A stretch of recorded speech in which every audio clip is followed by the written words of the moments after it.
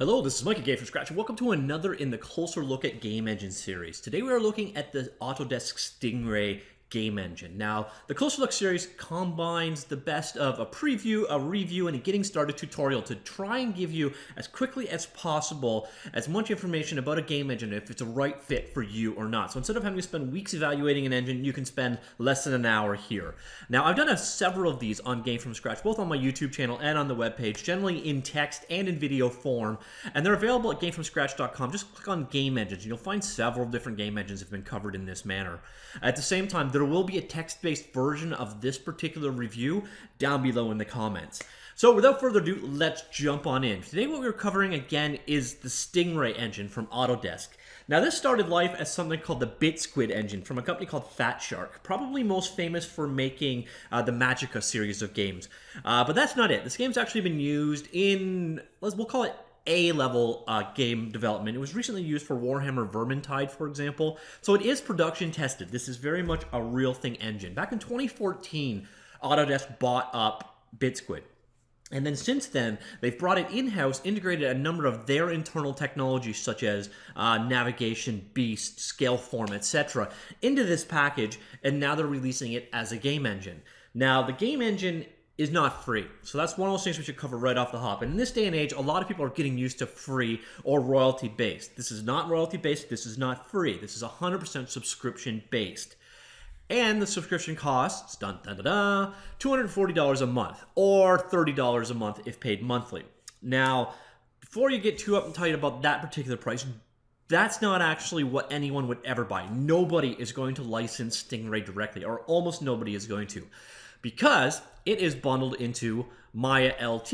And here you can get it for $30 a month or $240 a year. So exact same pricing in Maya LT, but Maya LT includes access to the Stingray 3D game engine. So Maya LT is a stripped down version of Maya. Now Maya is a digital content creation 3D application that's been around forever. Uh, way, way back in the beginnings of the 3D industry, there was a company called Alias and there was another company called Wavefront. Those two companies merged together, became Alias Wavefront, a lot of original thinking there, and they released a product called Power Animator. Power Animator lived for many, many years as an Alias Wavefront product and eventually was redone, rewritten, ported to Windows, and released as Maya. Since then, Maya has evolved many, many times and has since been purchased by Autodesk, and now they continue to sell Maya, but they also offer Maya LT. Now, Maya LT is an indie game developer focused, stripped down version of Maya. They've taken out some of the uh, dynamics, the uh, particle systems, some of the stuff that you would use for motion pictures, etc., have all been ripped out. So mostly what you've got left in there is the modeling, the animation, and I believe the rendering. So it is a streamlined version of their high-end product. And don't get me wrong, Maya has a $4,000 plus price tag. So Maya LT is definitely a deal if you want it. So if you want it, you're essentially getting Stingray for free. And they've integrated the two together tightly. So if you want to use and get your content into a game engine, well, that's normally the weak link for many game engines. But since Autodesk owns uh, Maya, owns Stingray, owns the FBX file format that is used for interchange between them, it's probably got the most seamless interchange you're going to find amongst game engines. Uh, so that is where you got to take the price to effect. Now, there's another big thing where I'm going to lose some of you immediately. Stingray runs, the tools run on Windows 7, 8, and 10, sort of.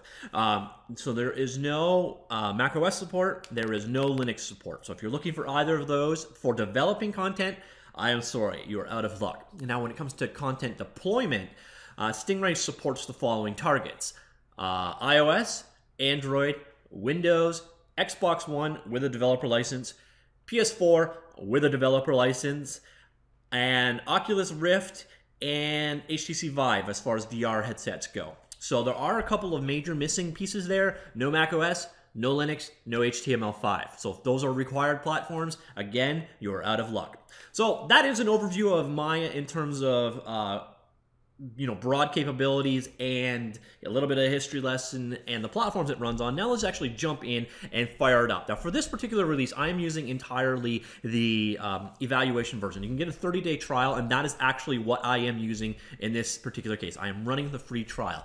This actually means i have no access to the underlying c++ code. So if you are a subscriber you do get access to the c++ code so you can uh, extend it. You can expose it to their um, built-in coding systems etc and that is how the programming works here. This is not really a C++ engine. You can write in C++, but the primary programming languages for working in Stingray are Lua and Flow. And I will cover both of those in this review.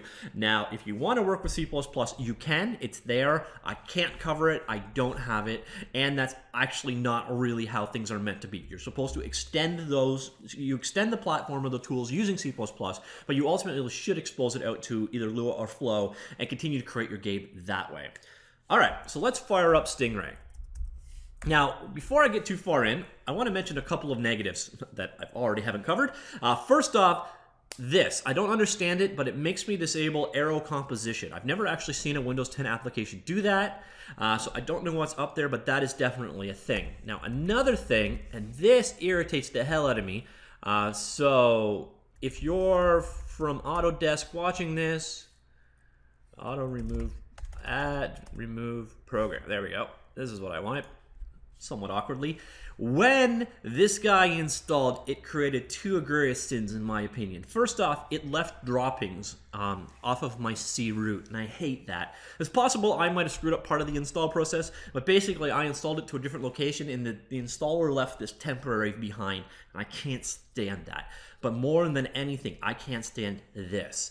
The Akamai Net Session Interface background service was installed as part of this installation. And I don't believe I ever said go ahead and do this. I don't like this. I consider this guy just one step up from malware. As soon as I'm done this evaluation, this piece of crap is being removed from my system. Don't do this, Autodesk. Just don't do it.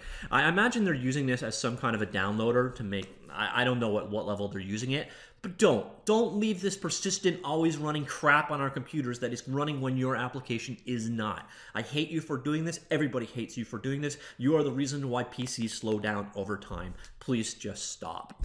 All right, so a minor gripe, obviously one that really annoys me, but definitely just a minor gripe. This is your launcher for a Stingray project. And they've got a couple of templates built in, basically, um, you know, set up and pre-configure a project for you. Uh, first off, we're going to go ahead and look at this guy. So there is an empty project. We're going to come back and look at it in a little bit. Uh, but we've also got this, um, this character one here, and that's what we're going to start with. Uh, there's a, a, VR and a vehicle rig setup, um, a basic one that gives you, um, you know, kind of a simple walk camera setup and to go from there. Uh, but this guy's a little bit more advanced, so we'll start with that. Go ahead and create one on YouTube 90210. I've created a couple of these, so I don't want to name collision. And run. This video, actually, in recording it, has been mildly cursed. I ran out of hard drive space one time. Uh, I had my computer just shut down for some particular reason one time, and one time my mic was not on. So this is uh, the fourth time I've recorded this guy. So hopefully this one goes a little bit better. Uh, here we are. There's a tutorial launch. It's all pretty simple stuff. We'll get into the documentation a little bit later on. And what you'll find now is it's um, precompiling the data required here. This can take uh, a minute or two, but there's no sense in me just sitting here in awkward silence while this compilation finishes. So I'm just going to go ahead and pause it. Now be aware, this only happens the first time you create a new project. So it's not uh, something you need to be concerned with. So I'll be back in a second. Alrighty then, welcome to two to three minutes into the future, and the uh, pre-processing work is done. This is the Stingray editor. Now, I want to say something right off the hop. This is clean. This is a very streamlined, clean, nice to work with game editor. I have to give them credit there big time. Um, the performance is pretty good. Uh, the customizability is amazing. We'll see that in a second. I, I have some issues where it um, wasn't drawing or wasn't updated. I had to minimize, maximize the window or similar things. But for the most part, this is the most clean of the engines out there. Now, um, Unreal Engine comes very close. Unity is starting to get very long in the tooth, in my humble opinion. But this guy is a very, very clean interface. Now, you see, you got your primary viewport where you drag and drop um, you know create your scenes, build up your scene graph, etc. But let me just show you how customization works here. We've got a number of tabs across this particular view. We've got this uh, help link attached. Get rid of that. Um, but you'll notice here we've got the tabs here for different features and functionalities. We can click here and add a variety of different windows directly in there. Nothing really special so far. Uh, we can resize windows to our heart's content, but where it gets impressive is the amount that we can actually, we can move tabs over easily enough. We can float tabs, moves them off to separate monitors if we wish, close them down completely. Uh, we can merge them down like so, or we could collapse everything into one gigantic tab if we wished. So this is a very, very, very customizable user interface. And I have just turned it into something that is virtually useless. So the nice thing is you can also come up here and reset your layout and be back to where you were a second later. Know, as you also probably saw, you can save and load your layouts. So if you have configurations you like for particular things, set them up, do whatever you want with them, load out that configuration. You want to switch to uh, you know, scripting mode, you can switch it out and off the races. It's got very good multi-monitor support, etc. Now, where it does fall on its face a little bit is high DPI support. And I'm kind of getting used to this point. At Windows, Windows did a crap job of supporting HDPI monitors in the first place, and this application does a pretty good. This is actually running at 2040, uh, 2440 by 16 something or other. So this is an HDPI mode uh, that is running now, and for the most part, it's pretty good. And it's gonna you're gonna lose a little bit when the downstamp list to 1080p, but you will find that some of the applications, such as this guy, don't work well. Uh, and are strangely laggy. Now, on top of that, I also had a few issues where I had um, uh, windows that were off screen, windows that were. Um, oh, here, I'll actually bring it up. So there you can see our windows are extremely small. Uh, the canvas works properly, uh, so that part's nice. But there are going to be some issues where you're going to have high DPI issues. Uh, but I had it where I opened some windows and I literally couldn't get them off the screen. So here, let me actually, I think it was, uh, which guy was it? Mm, okay, I'm not remembering exactly which one it was. It might have been property. Yet. Yeah, there you go. I don't know what I'm supposed to do with that window. it's uh, uh, it's the title is off. I can't move it around because it's off the screen at the top. It's off the screen at the bottom. I can't resize it. I can't do anything with it. And fun fact, it's actually when I close down this application and start it back up, uh, this lovely window will be on top of us again. So there are some issues with high DPI. Also, when you run your uh, project for the first time, by clicking this guy, this is how you uh, test an application. It's not a full run. Uh, okay, it worked that time. I had this guy drawing off the bottom right-hand corner. Um, which causes issues because uh, you don't have mouse focus, so you can't grab the title window. Uh, but if you do this and you have a window that is off screen on you, that trusty reset layout will come to your rescue. Just be aware though, there are some high, high definition monitors issues here. And in this day and age, which is kind of strange, because I don't imagine the majority of people doing uh, high-end game development are running on very high definition monitors by this point. So I'm shocked when I don't see it. But the primary editor itself does not have issues other than a couple of windows you pop up. So just make you aware of that. All right, back to the interface. We'll do a little bit of a quick guided tour. Up here, what you see is the primary, um, you know, representation of our view. If you've worked in a, uh, an Autodesk product, you probably already know the hotkeys. Uh, this is your move, scale, rotate, uh, and this is the placement tool. They are controlled using the QWERT hotkeys. Uh, next up, you have um, grid snapping, and you have rotation stepping. Uh, you have these two options. One is a test, which we just saw earlier, kind of quick runs your level in the um, in a uh, an application window, or this one, uh, which actually runs it, which is what you have to use if you want to debug. Uh, so that is your viewport. You can drag things in, create them here, etc. This is where you will ultimately place your scenes. I will go ahead and load a scene in a second so it will make a bit more sense. But you can see a couple of the items on the screen. So like for example, we have this uh, sunlight uh, unit up here in this um, empty scene that we've got going. Down here is your asset browser. This is where the contents of your world are organized. Um, you got some options here. Let me just bring that guy up a bit. So you got your various search. Uh, you can filter out what you see. It's right here. You can filter down to specific assets. You can search right here. Uh, you can change the um, view mode right here. We'll go down to smaller icons, so I've got a bit more room to play with. Uh, and for example, I'm going to jump into the contents and we'll load a level up here. So uh, main menu, like so. So this is the main menu of this game. It doesn't really make a lot of sense because we're facing the wrong direction, which gives me the ability to cover the camera controls now. So camera control is Alt and then mouse button combination. So Alt left mouse button is an orbit, like so. Alt middle mouse button is a pan. Alt right mouse button is kind of a zoom, but it's not actually a zoom. Uh, this is tracking, I think. And then Alt and middle mouse button is, in fact, zoom. Are they the same thing? Yeah, I guess they are. All right, so Alt right, Alt right mouse button and mm, uh, scroll wheel do the same thing there.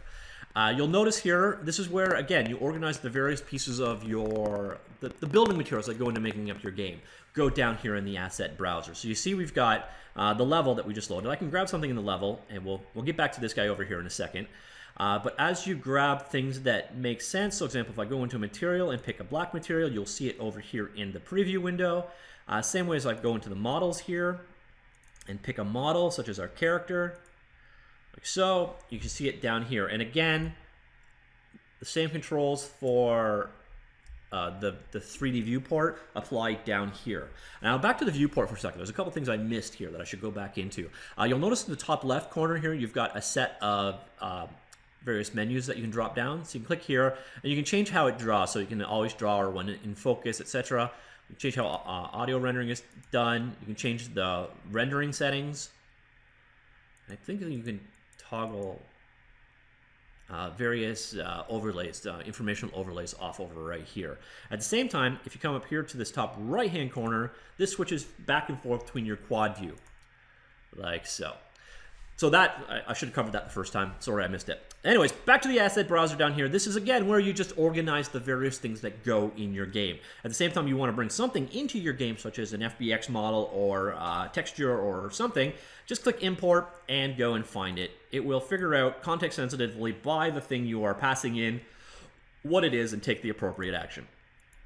And as you saw here, when you have an item selected, if it makes sense, it is shown in this preview window over here. The same, this is actually just this window again, uh, focused directly on the item being previewed. So you got the same settings, the same abilities are down here that you do up with this window.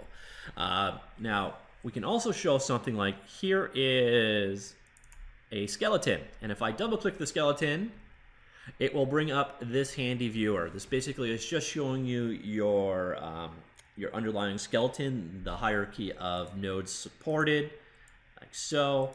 Now what you will find is you really can't do anything here. You can uh, preview your animations like I am here. However, you cannot actually make changes or edits. It's expected you'll do your content creation over in Maya or Maya LT or 3D Studios Max or whatever. Now, I have successfully brought in some FBX files from Blender, uh, but I haven't played with the animation stuff yet, so I don't know if there's a gigantic fight there. But you can bring in FBX content created in other platforms. But the things like animation, um, making animations, etc., it is all expected to be done and tweaked and finished in your content creation tool, not within the editor itself.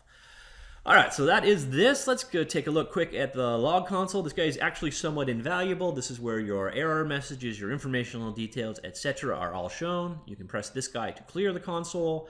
Um, you can filter out for um, you know data versus, let's just bring that list up.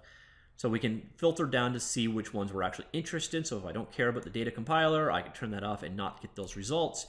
Uh, this is also where your Lua console is by default. So if you want to see output from your own code, it will be down there. So the log console will probably be up on your device quite often.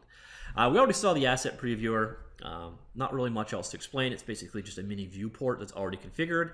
Uh, we've got up here is the level flow. Uh, this is cool. We'll get to it later. Uh, so pretend it's not there.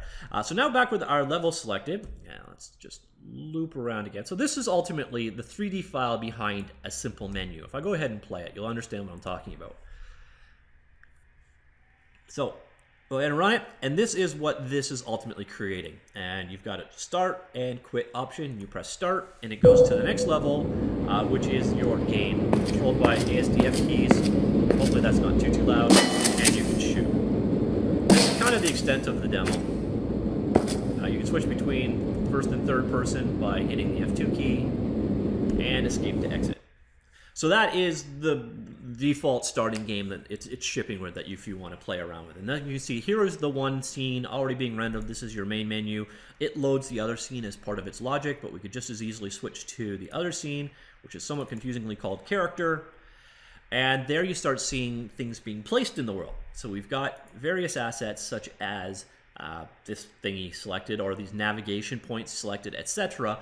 If you come up here, you will now see the next part we have Explorer. Explorer should probably be called Scene Graph. I wish everyone would just standardize and calling it a Scene Graph because damn it, it's a Scene Graph. So this is your Scene Graph. And what it's done is it's broken down your entities, your units, and uh, various other environmental objects such as lights. So this is the stuff in your game world. Now, one of the things that I find quite confusing with Stingray, and I think this is a transitional thing, they have an entity component system, and that has kind of become the universal norm. Uh, Unity kind of made that the thing. Uh, you know, everything at the base is a game object, which is a container for components, which in turn make up the various aspects of your entities in the world in reusable, nice Lego-like bits. So that is the entity component system in the most basic nutshell you've ever heard. And they've got that here. Uh, so for example, here is an entity uh, that is the shading environment, which is made up of components such as bloom, vignette, color grading, uh, etc. So you can compose these entities out of, unfortunately, it's only for a very small subset of things. Now, I think what happened is uh, BitSquid, the previous engine, built everything around the idea of a unit, which you can think of in um, Unreal Engine terms as an actor, or as in every other game engine as a scene node. It's the basic entity in your game. So all these things you're seeing, this guy, this guy, this guy, etc., they are units. So grab the wall, see that? It's a unit. Target, it's a unit. Unit. Platform, unit. So that guy's a unit. That is what all these things are. They're units. So the basic building block of Stingray was the unit. And it looks like they're trying to transition slowly to an entity component system. And it creates this weird sort of double scene graph dichotomy thing going on. So if you're a little confused, most of the things that go in your game are ultimately going to be units. And units are a lot like um, entity component systems, but you just can't pick the components. Uh, so they're pre-configured for you. You can see down here, uh, there is a transform component, uh, a material, a hookup for Beast, which is a lighting system made by um, Autodesk, part of what they bundled in here, and script links. So they have, so again, we also have under Beast has these different pieces as well. It's kind of like a pre-configured component approach, which kind of defeats the purpose of almost every single component system because the reuse, etc., is not really there. Configurability is not really there. But that's kind of the way things go. However, what we're seeing here is as we select things in the world, uh, the Explorer is the graph of all of those things, and the property editors is the dynamic properties for that particular instance. So, um, like you say, we can set the trans um, the transformation here, etc. Uh, we have the link back to uh, the material that's collected to this guy. So we could go to go to the resource. You see, there's the material attached to this guy. Um, so a property view and a scene graph is a pretty common thing out there in the world of game engines, and this one is absolutely no exception, except for that whole weird split between some things are entities and some things are units.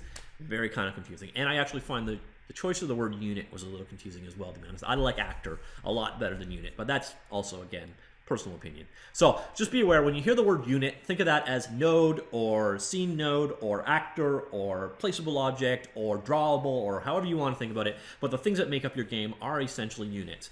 Uh, some of the things that configure your game, such as the environment, are entities, and entities can contain various different components. And I think over time they're going to transition to and add more components. So essentially that is a roundabout of the user interface. The interface is quite clean, quite easy, quite, um, you know, again, clean. Clean is the magic word here. Now we've come down here, we can see there's a lot of other standalone editors that are of some importance. Uh, one I want to talk about quite quickly are Wwise Audio, Navigation Lab, and Scaleform Studio. Those three guys are, well, Wwise, well, Wwise, is it Well Weiss? We'll go with Well Weiss. Uh, well, Wwise is a standalone third-party audio solution, but if you need to do uh, fancy, funky audio stuff, um, uh, placeable audio, advanced effects, etc. It's done in Wwise Audio. It's it's included with this guy uh, as a Scaleform, as a Navigation Lab. Navigation Lab is essentially a pathfinding or AI solution.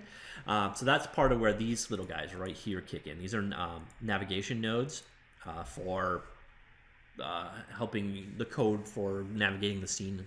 Um, so that between the navigation nodes and creating the, the nav mesh for the, the platform itself, uh, that comes down to uh, Autodesk's existing solution, navigation and that's how you can integrate into the external application. And then finally, we got Scaleform, which I'll go ahead and load.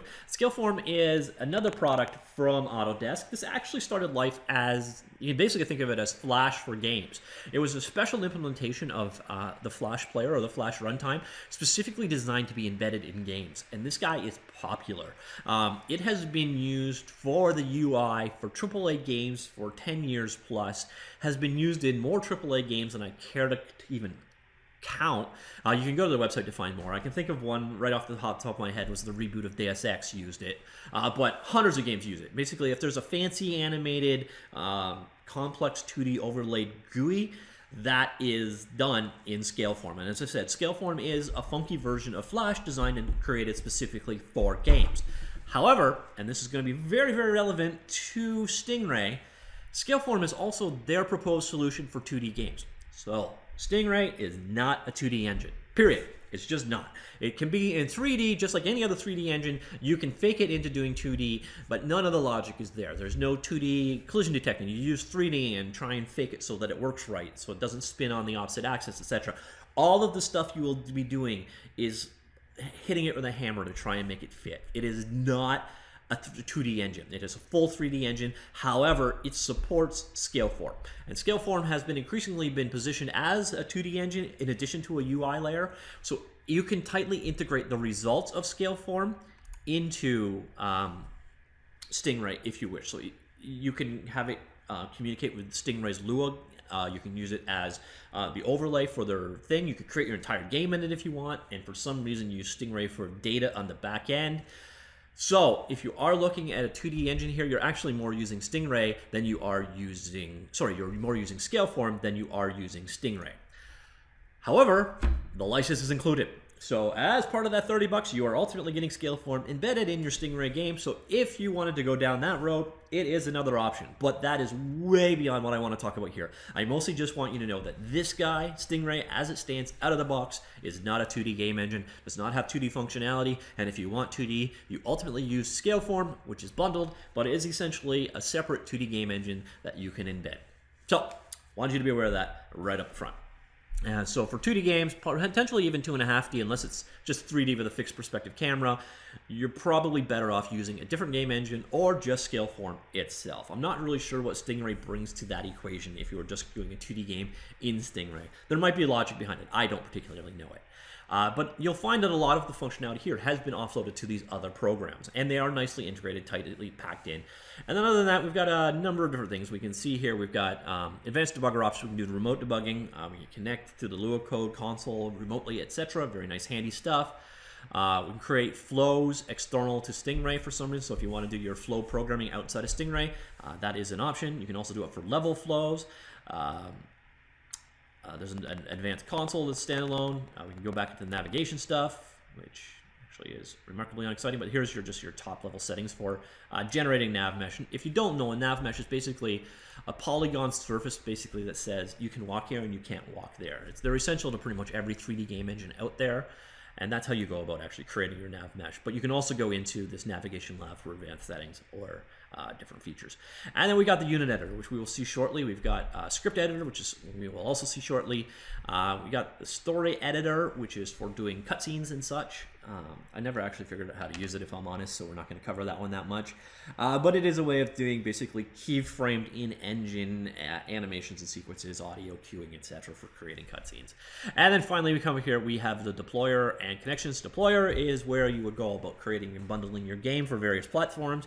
As you can see, we can create it for Windows, Android, iOS, PS4. Then, of course, you're still going to need a PS4 developer license and Xbox One. And again, you're going to need a PS4 developer license.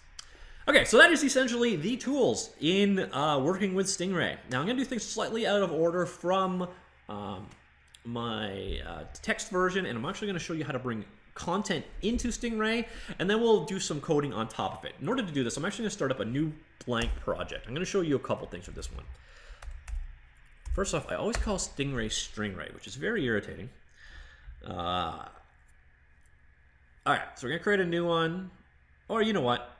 I'll go with one I already created. So I'll show you the code as opposed to you know having you watch me type it.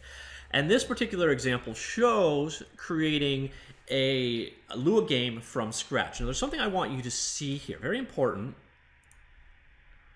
Uh, this PC, drive D, dev. So this is where I actually installed Stingray 2, right here. All right, so here's your default Stingray install. If you come into here, what you will find is core. And core can be essentially thought of as a game engine written in Lua on top of Stingray. And I'll show you exactly what I mean in a second as um, Visual Studio Code opens this guy up. All right, so here's the various folders and libraries and, and, bits that are basically coded in Lua. So if you go with the basic project, it will automatically link into this. It will link into, um, uh, where did you go? AppKit, Lua. So there's a starter app right here. So simple project. So this is kind of going to get you up and going. They've kind of implemented a Lua game on top of their engine to quickly, easily get you up and going. And then you inherit from this guy and implement the things that are specific to you. So this is the logic of your game. And it's a skeleton to work out from. Uh, it's quite simple. And then on top of here, you can see several um, Lua libraries. This is the Lua bindings available to basically wrap over the Stingray engine and expose it in Lua. So you can get a pretty good idea of what's there. So Human IK is the inverse kinematic system made by um, Autodesk that's been bundled in. You come in here, you see Lua, and here is the um, Lua bindings per se for dealing with human IK. And we go through all that. We got things to access editor, we got things to access units, cameras, so here we're going to units, which is a very important type. So you can see all the various built-in units, you know, lights, cube maps, cameras, etc. Uh, built-in basic primitives, which I actually didn't actually show you. Uh, but the code is all here. The underlying guts are all here in Lua. So if you want to dive in, deep dive, get started quickly, there's a lot of a framework to build on top of here. On that hand, this guy used none of it. This is the roll from scratch solution. And I always like to do this. I like to see what the basic hello world is in a game engine so you can understand it from that level. And that's essentially what I've done here. This is a implementation of the minimalist game. So you just came in, create a new game, empty. Now the first thing you do, it's kind of a data-driven engine. So you've got uh, this boot file, uh, which is Lua configured, and it's got the various different packages and settings going. And what I've done is I came in here and I set up Thought I set up. All right, one second. I'm getting off the script here. All right, my bad. I was in uh, boot instead of settings. So you go into your settings file in the root, and I just set up this guy called boot script. You can think of this as your startup script or your default, where you're going to start from. And you'll see right here, this original path, is core AppKit Lua main, that corresponds to what I just showed you here. So core AppKit, Lua, main. So this is your starting project if you just used the out-of-the-box solution. But instead what I've done is I've went ahead and rolled my own. So we can see that here. And that is set up to be script Lua player, which I went ahead and created. You'll notice there's no file extensions used here. So we go in here to the script folder off the root of our project, Lua, and then player.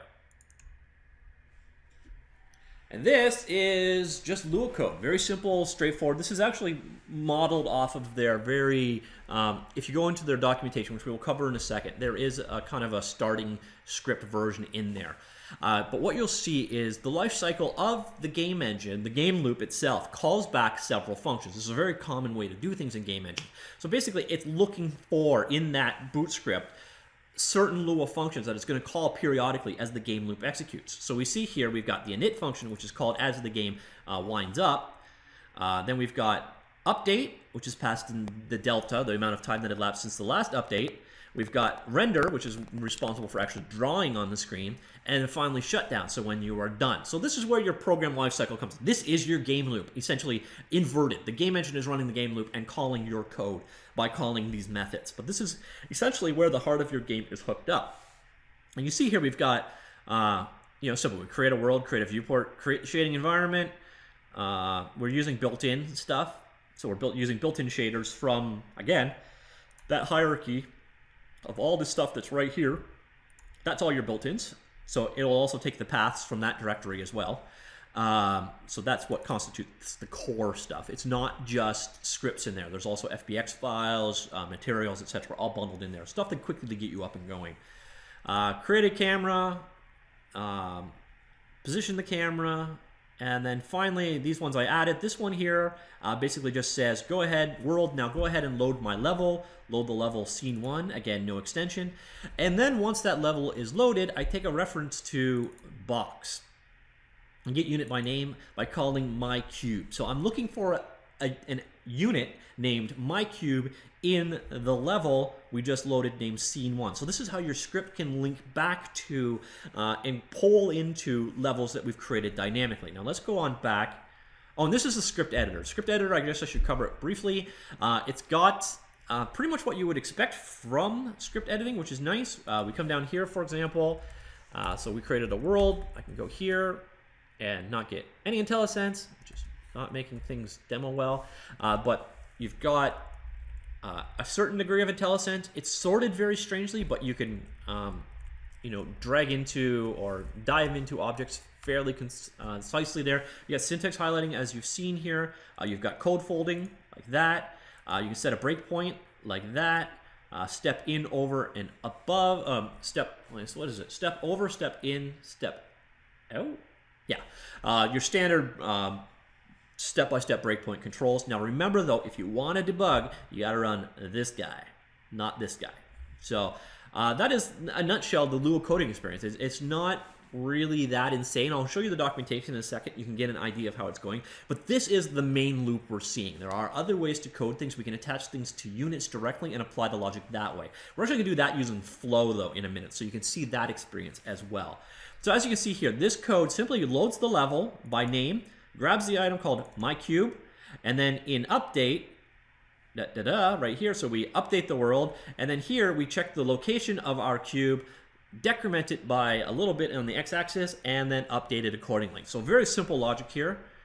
And if I go ahead and preview this guy, you will simply see, oh, this is annoying. This save all there's no way to get rid of it. It asks you every single freaking time, and there's no, as far as I can tell, setting to say, stop asking me this, which causes your application to lose focus and hidden in the background. Please fix that, guys. Uh, but as you see, there is my game loop running, and it's, you know, it's updating off across the x-axis like what we saw.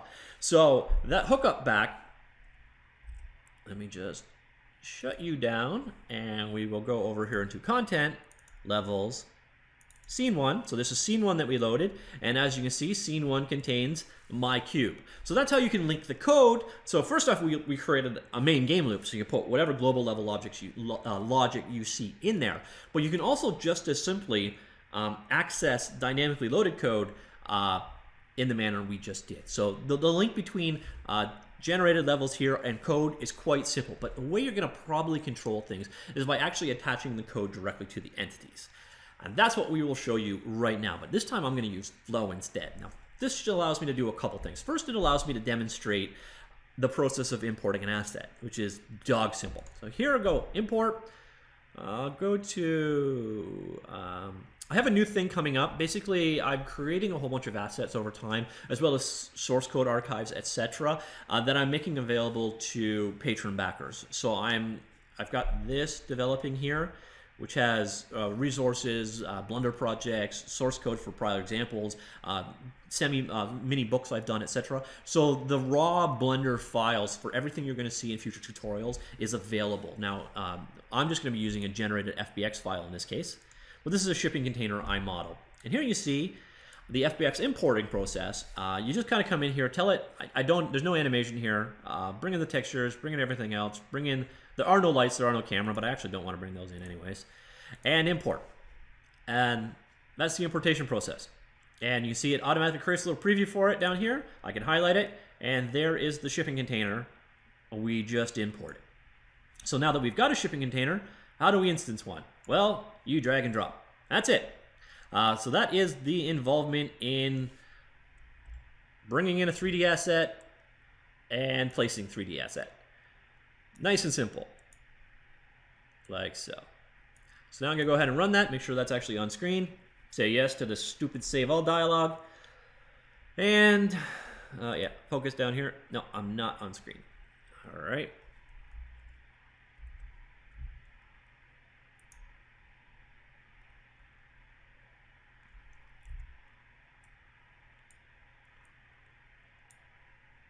Come on. There, that's for sure going to be on screen. So go ahead and run that. And yep.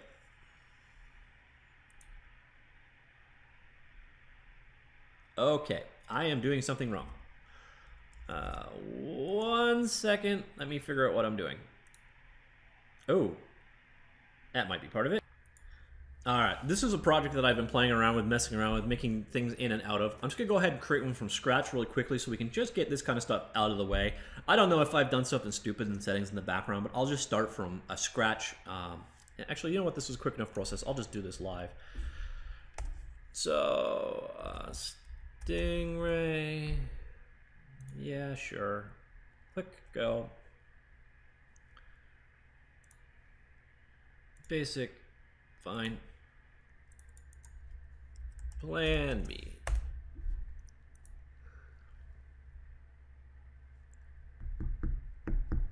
No sense trying to debug something that I've no doubt introduced myself. So I'm just gonna do a quick new start. And again, we've, we've got this initial data compilation coming in here. I'll give that a second to run, and I will see you in a minute.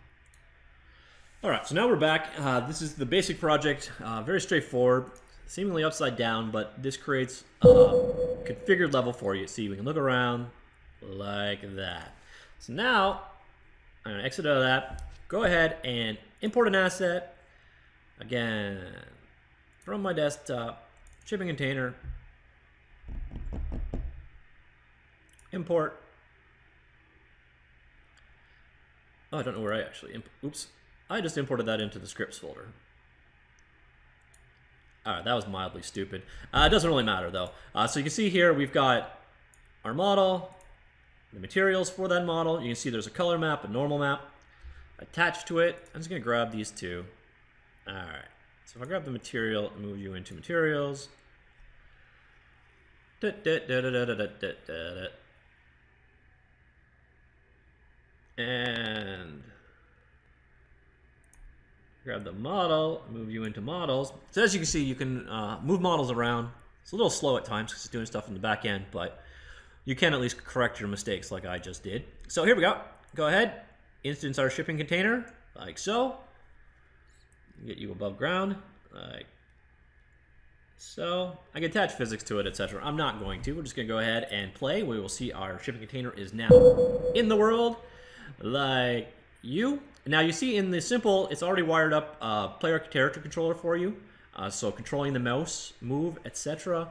Uh, you've got walk hooked up escape to exit. And if you come down here into scripts, you will see that is hooked up as player. And your logic is right there. So it's just basically doing a very simple starter application for you to get you up and going. So we got this guy in here. Now what I want to do is make it do stuff. And I'm going to now demonstrate. So we got an actor over here called shipping container. It is a unit. And now I want to use flow instead. So what I'm going to do is I'm going to open up a new guy here called the unit editor. Dun dun dun. Uh, standalone application, but this is where you can make changes to units. Uh, we shall go ahead and do a file open. This will give you a list of all of the units available in your scene. In this case, I want the shipping container. And there we can nicely preview it. Uh, same controls. So there is our shipping container. Now let's go ahead and, well, so we can them down. Uh, the modeling entity behind scenes, I was probably pretty boring and called it a cube. Uh, you can see you can set the various properties, uh, rendering settings, uh, script data attached to it, data, not scripts, uh, but you can attach it. You can create state machines, uh, very cool, very useful for AI, etc. But what we want to do in this particular case is demonstrate unit flow. So you see down here, we're looking at the viewport. Now we can go instead into unit flow. And unit flow is where we can use the flow programming language. Now, if you've used um, CryEngine, the newest version, or Unity, oh, sorry, Unreal Engine, their visual the blueprint system in uh, Unreal Engine, for example, this is very similar to that. Um, and this is another way that we can program what we are going to do with our guy here. So what we're going to do is move him. So we're going to take an input. So we got various different inputs here, mouse, PS4 button, Xbox controller, etc. And we're just going to take a keyboard button. Uh, uh, oh, come on. Button name. And if you press M, for very arbitrary reasons, let's go because I'm named Mike. So on M, we're going to go ahead and do something. What we're going to do is move our character. So first off, we need to actually get where they are right now. So we just go uh, unit, get unit local, oh, get, all right, so unit, let me just see here, get unit local position. Don't know why I couldn't see that. So by default, the input here is me. So this object, this guy right here, Stingray entity root, which is ultimately shipping container. So this is passed in automatically here. But you'll notice left-hand side is inputs. We're defining this one as M, but it could have come from something, actually in this case it couldn't. But right-hand sides are outputs. So we pass the position out as a result of this guy. And now what we want to do is take that guy and go into, I believe it's math, uh, vector uh, addition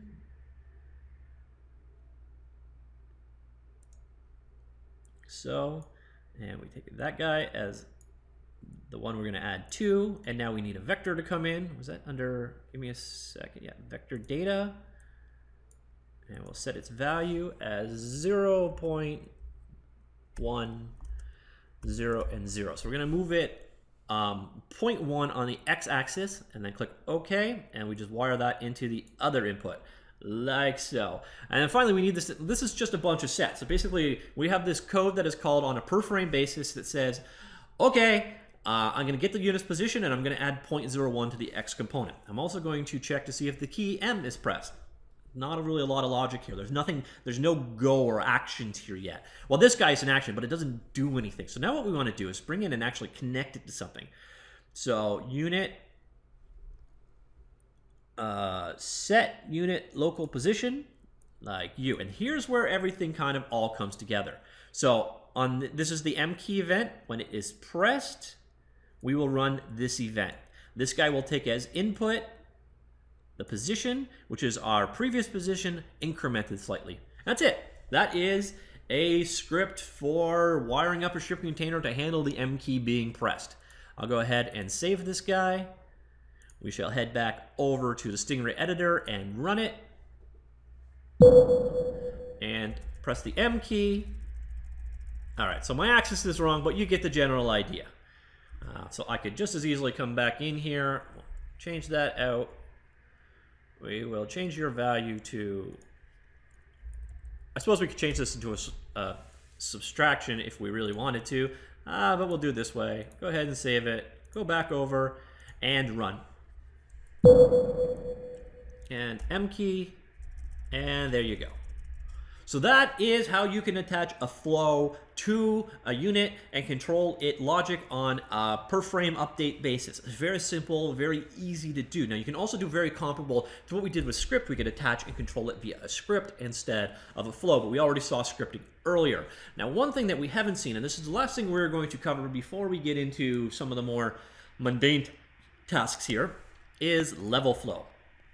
Now, level flow is attached to your particular level, and this is the same thing. This is a uh, neat little flowchart uh, logics of there's the various events it can respond to. So when the level is loaded, when it shuts down, and on a per frame update. So if you want to do uh, wire up flow controls on a uh, per frame basis for your entire level, exact same logic here. Right click to add in the thing you want to have um, the nodes from hook them all up. You'll notice they're different here than we had in the other thing. We've got a couple more uh, options, more global level things, but you can control your level level logic using flow as well as you if you wish as well. So earlier on we did level stuff via Lua scripting, and this time we did unit stuff via flow uh, scripting, but you can easily reverse the two, and in fact you can actually tie the two together. So you see here script, uh, we can call a Lua script or a script global that has been registered.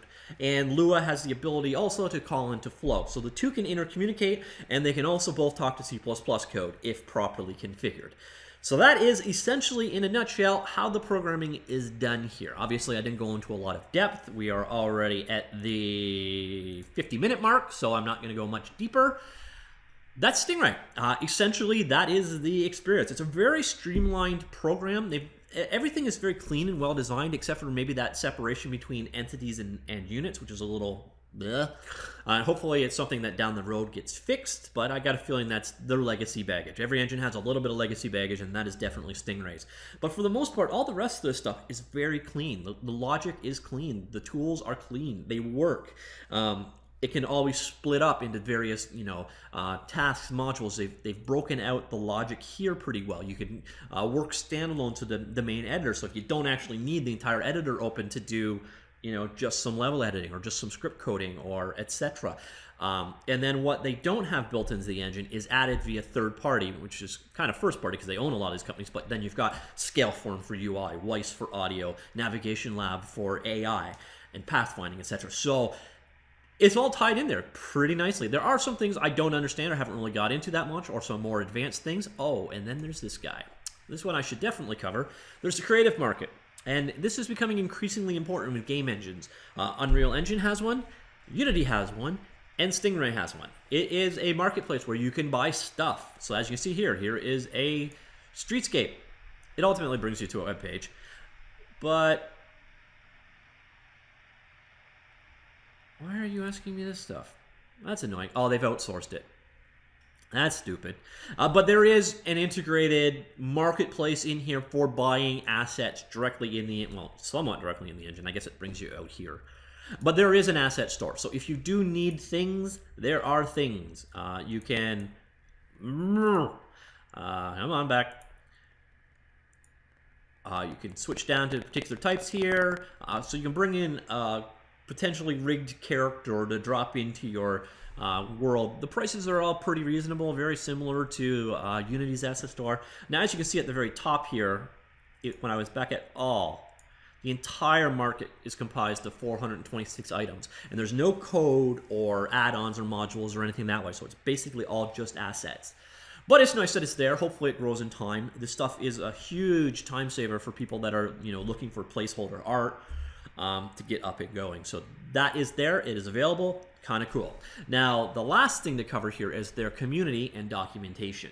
This is always important uh, to any game engine. A well-documented game, game engine, in my humble opinion, a well-referenced game engine is essential. If it's got crap documentation, it's just um, it's really hard to justify going ahead and using it. And thankfully, that isn't the case for Stingray. Stingray actually has, and we'll go on in here, very, very good documentation. So this is your Stingray Learning Center. It's the heart of it. You've got a number of uh, pieces here for, you know, you want to learn about animation, you come in here, and all the various topics that are in there. Each one is covered fairly well with links back to associated topics. Uh, covers pretty broad section. Pretty much everything I wanted to know about the engine was in here when I went ahead and looked. It is well documented that way. And then most importantly, we come down here, we've got the Lua API reference. So let's do it by namespace. No, let's do it by uh, category. So here you can see the various, so here's say we're working with units.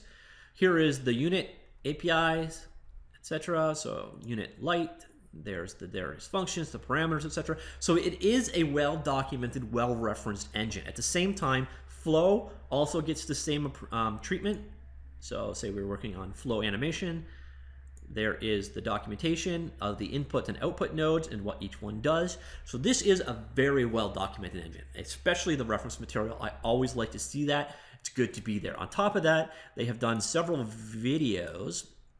So there's a getting started videos here for the basics. So basically everything we just did, you can watch it in uh, one minute videos, little excerpts of it. Uh, and come on back here, video tutorials. They have created, uh, it's all on YouTube, but they have created several videos. Uh, and in the, let's go, I just want the Stingray channel.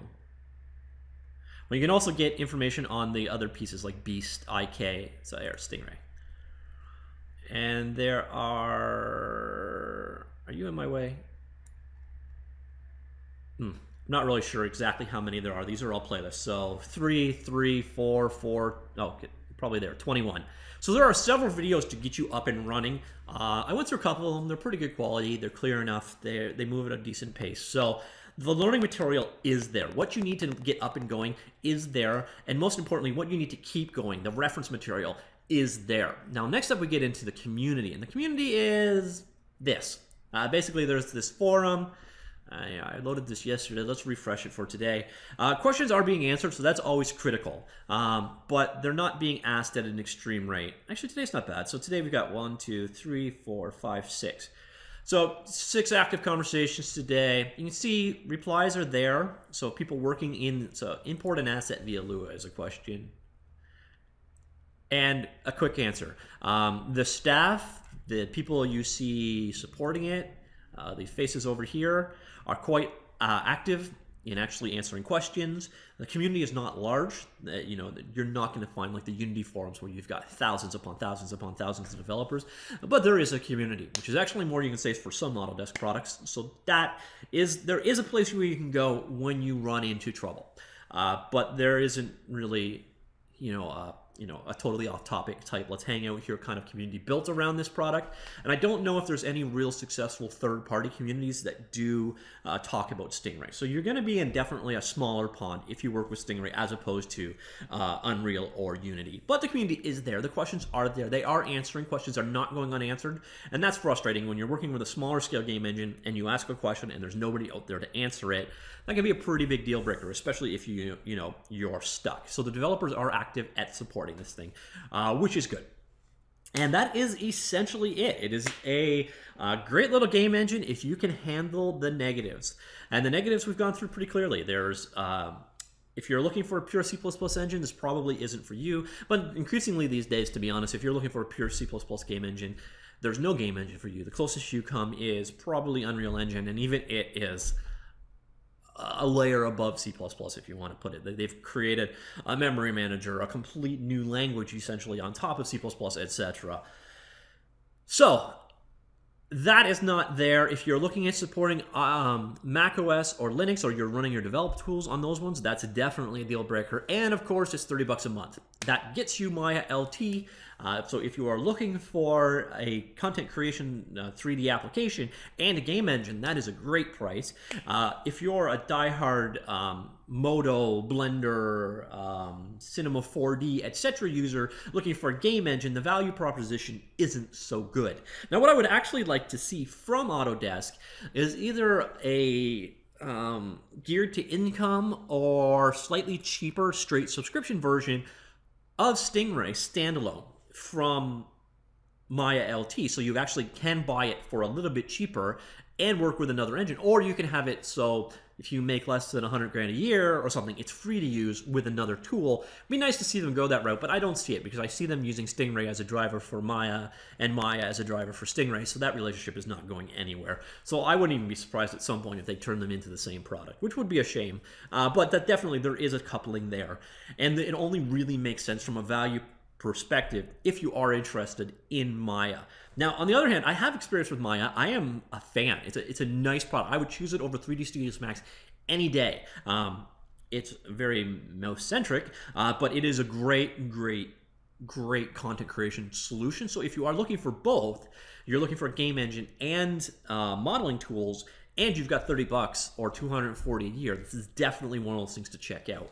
If that price tag isn't doable for you, there's tons of options out there. Again, we loop back to uh, here, game from scratch, you can see a few dozen of them and help choose the best one, uh, just like the coverage we had here.